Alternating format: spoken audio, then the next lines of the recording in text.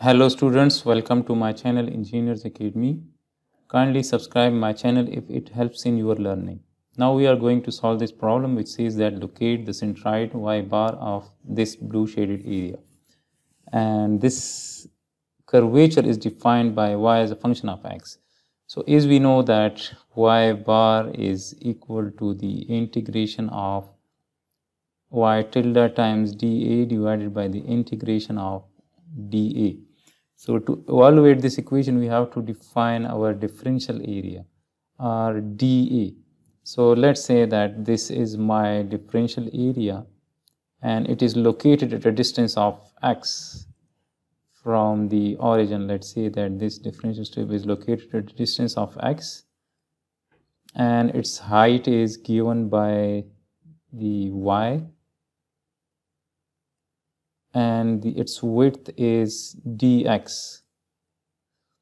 So now uh, I can write that dA equals to uh, y times dx and y is given as a function of x and if we integrate both sides so we will be able to find this denominator of this uh, equation. So I can write that y is h divided by e n into x to the power n dx and this means that this is the summation of dA. The integral of dA is the summation of the areas of all the differential strips from x equals to 0 until x equals to a. So we need to integrate this from 0 to a. So this will give us the total blue shaded area. So now this is these are constants h divided by e to the power n is constant. And if we integrate this so this is we have to add 1 to the power and we have to divide it by that same power. And this is from 0 to a. So now if we put these limits this is h a to the power n. And this is a to the power n plus 1 divided by n plus 1 we can split this. This e to the power n plus 1 is also equal to the a to the power n into a and a to the power n is going to cancel each other.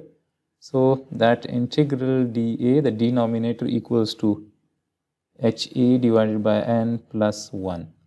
Similarly, this numerator, this numerator is y tilde times dA and this is equal to and what is y tilde? y tilde is the location of the centroid of uh, this differential strip from the x-axis. So this is y tilde.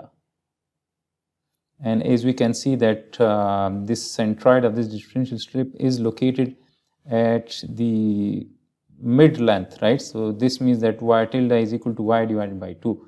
So we can write that y divided by 2 and dA is y times dx. So this will become y square divided by 2. Let me write it here and 1 we can write 1 divided by 2 outside of the integral. So this is y square dx.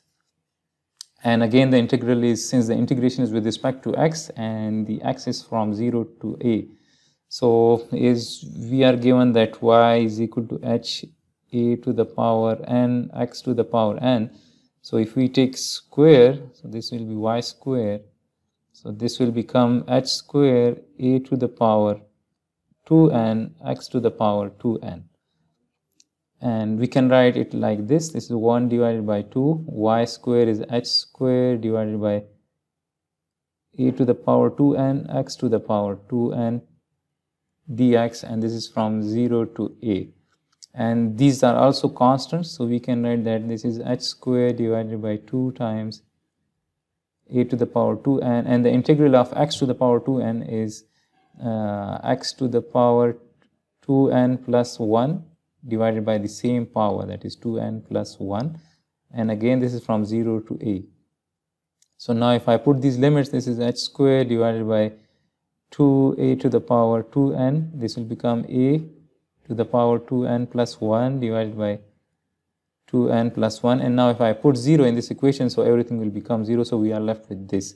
Now I can split this power, this is a to the power 2n plus 1, so we can write it as a to the power 2n multiplied by a and this will cancel out. So we are left with h square a divided by 2 into 2n plus 1. So this is the numerator of that equation. So now we can write that y bar is equal to this is equal to this thing. So we can write this is h square a divided by 2n plus 1 divided by this thing. This is the integral of dA. This is the total area. So this is HA divided by n plus 1. So as we can see that this h is going to cancel this one h and this a so we will be left with y bar and this is this is h divided by 2n plus 1 and divided by 1 divided by n plus 1 or we can write it as n plus 1 divided by 2n plus 1 into h. So this is the location y bar of the centroid of this blue shaded area. So I hope this video will help you in your learning. If it helps in your learning, kindly subscribe my channel and like this video for such more problems from Hibbeler Statics.